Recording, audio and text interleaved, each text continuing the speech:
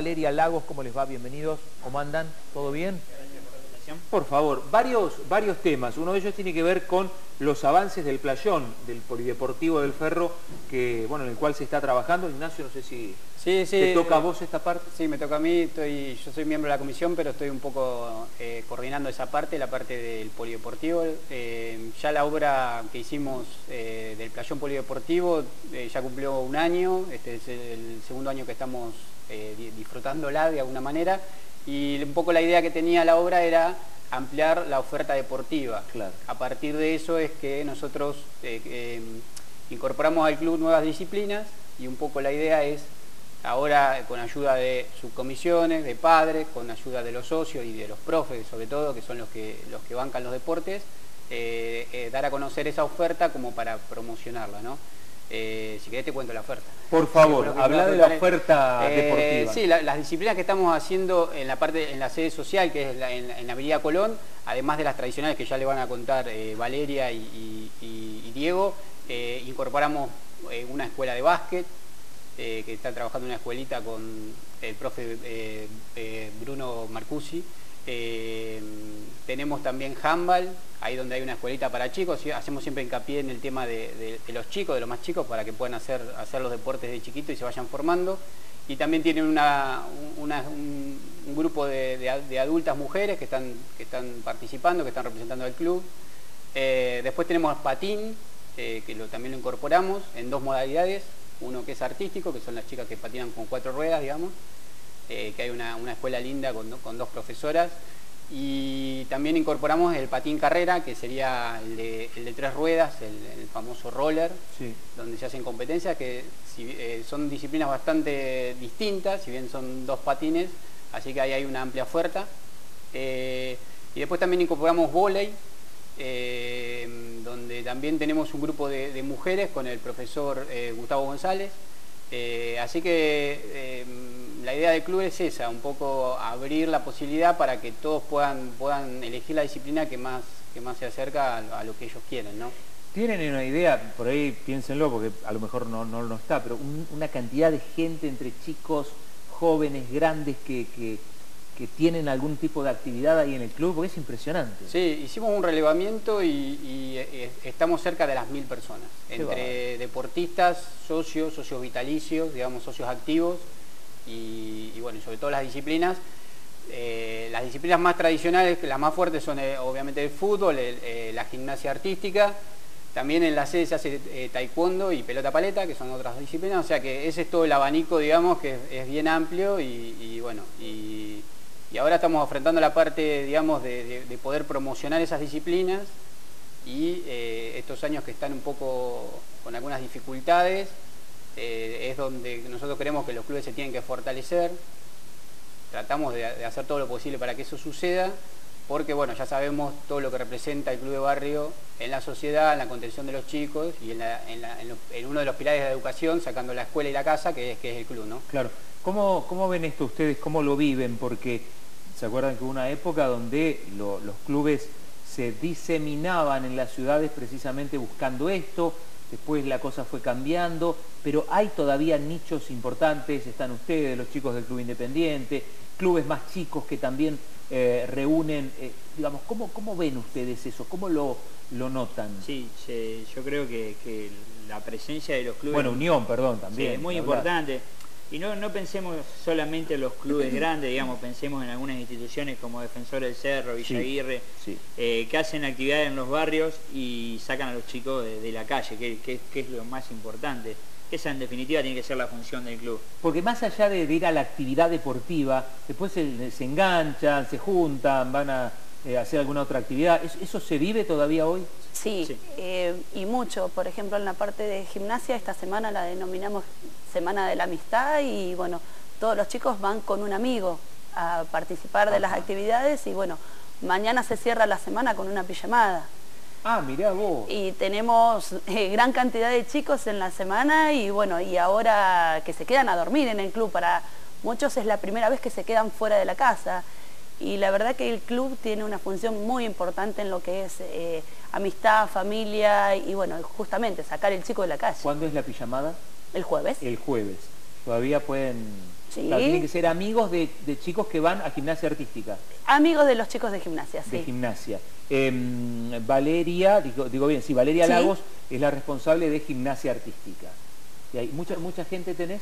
Sí, gracias a Dios hay mucha gente en lo que es eh, la parte de escuela, porque si bien eh, somos club, tenemos equipo de competencia en este momento con alrededor de 50 chicos compitiendo, tenemos escuela desde los tres años, se hace la formación y bueno, eh, día a día va creciendo cada vez más la actividad. Diego, estábamos hablando de esta realidad que viven los, los clubes sacando a los chicos de la calle, conteniéndolos. ¿Cuál es la relación que tienen con los padres? Porque creo que somos muchos los padres los que valoramos la actividad de los clubes. Sí, nosotros tratamos de tener eh, contacto constantemente con los padres para saber cuáles son muchos de los problemas que tienen en la casa. Muchas veces hay algún chico que, tiene alguna carencia desde la casa y nosotros con el club tratamos de, acompañarlo. En el Club Ferro tenemos muchos chicos becados, si bien se paga una cuota social y deportiva, tenemos muchísimos chicos becados porque bueno, nosotros consideramos que el Club Ferro eh, debe ser un club social y debe contener por sobre todo a los chicos. Eh, obviamente en tiempos como estos, como decía Nacho, con, unas tarifas muy altas se nos complica y bueno, tratamos un poco con, los padres de, hacer algunos eventos y demás para, poder recaudar fondos para, para poder cubrir las necesidades mínimas de los chicos, sobre todo. ¿Cómo está el fútbol? Vos sos ahí referente de, la parte del fútbol. soy uno más, digamos, en la subcomisión de fútbol que hemos conformado hace un tiempo, donde hay muchos ex dirigentes. Eh, entre, bueno, Ezequiel Lester, Dante Iglesia, que fueron presidentes del club. Y bueno, decidimos conformar esta subcomisión porque, bueno, como decía Nacho, el, fútbol es el deporte que más chicos tiene, tenemos alrededor de 300 deportistas entre primera división y baby fútbol y la verdad que necesitaba que estuviéramos un poco atrás por la, parte deportiva, lo que es infraestructura y demás. La verdad que estamos muy conformes con estos primeros seis meses del año. Eh, donde Ferro es protagonista en todas sus divisiones y bueno, y una gran cantidad de chicos. Eh, y lo importante de todo esto es que hemos logrado un grupo de profesores, eh, bueno, que el coordinador que en este momento está trabajando es Natanael Cuesta, identificados con el club y eso les genera un sentido de pertenencia importante para los deportistas. Recién tocaron un tema así de pasada que quiero profundizar. ¿Cómo les va con los aumentos de tarifas? bueno, nos va como le va a todo el mundo, ¿no? Eh, nos va, va mal porque, porque representa, o sea, el aumento, bueno, no, no, agrego nada a lo que todos saben, que ha sido muy fuerte, y en los clubes particularmente es, creo que de público conocimiento, que, nos, juntamos para hacer algunos reclamos debido a que, a que la tarifa, famosa tarifa social, eh, no, se aplica, no, se aplica, llega a los clubes. No llega, eh, tampoco te dicen que la cortaron, entonces te genera una incertidumbre que no te permite planificar nada y bueno, ahí estamos luchándola, pero es como te decía, los clubes tienen eso de que, de que no, un poco me parece que las autoridades descansan en que saben que los clubes no, los dirigentes no lo van a abandonar, sobre todo los dirigentes nosotros nos toca estar en forma transitoria, pero el club es de los socios, el club es de de los padres de los chicos, que son socios también, de, los profes, que son los que ponen el día a día en su trabajo para que eso continúe. Y bueno, le, buscamos la vuelta haciendo actividades, pero, pero bueno, eh, nos pega, nos pega económicamente muy fuerte. ¿no? Eh, espero que por ahí se recapacite en ese punto y a veces se trata de una cuestión de prioridades eh, de hecho, gestionar un poco, gobernar es un poco administrar esas prioridades y, volviendo a lo, que decíamos hoy, la importancia que tiene como uno de los pilares de la educación de, los chicos en los clubes, yo creo que habría que ponerse las pilas y tratar de que esa situación se pueda revertir. Eh, a nivel local yo creo que hay una, por lo menos una apertura para escuchar, a veces tienen eh, algunas cuestiones de las que no dependen de ellos, pero como política nacional eh, tendría, que, tendría que directamente que todos los clubes puedan, puedan acceder a ese beneficio porque bueno, en el caso nuestro, que tenemos el estadio y la sede, eh, los aumentos representan mucho eh, del presupuesto del club y las cuotas sociales no aumentaron, obviamente. A, eso, a eso es lo que iba a ir yo, las, cuotas, sociales y las cuotas deportivas se mantienen por lo general casi durante todo el año, entonces es muy difícil por ahí hacer frente a la luz, el gas eh, y bueno, hay actividades, por ejemplo, como gimnasia, si no tenés un poco de calefacción los chicos no pueden trabajar. Y bueno, pero siempre es como dicen los chicos, estamos haciendo alguna actividad extra para poder juntar los fondos para cubrir estas cosas, para cubrir los viajes de los chicos que eh, tanto fútbol como todos, digamos, eh, viajamos, llevamos a representar a diferentes lugares del país y nos cuesta muchísimo. ¿Qué cantidad de equipamiento tiene? Estaba viendo ahí en las imágenes, ¿qué cantidad de equipamiento para gimnasia? Sí, gracias a Dios el gimnasio está muy completo y bueno, se están trayendo eh, a medida que se va pudiendo con la comisión de padres y demás, eh, aparatos importados. Que Qué bueno. Lo más importante es en la seguridad de los chicos y que la mayoría de los aparatos importados tienen ese tipo de seguridad que lamentablemente en Argentina cuesta mucho traerlos porque el, tema de importación y demás es, complicado. Eh, ¿Cuántas disciplinas tienen, eh, eh, disculpa mi ignorancia en el área, pero dentro de lo que es gimnasia, ¿cuántas disciplinas hay? o, cómo es el nombre? nosotros en este momento estamos trabajando con gimnasia artística femenina y masculina. Correcto.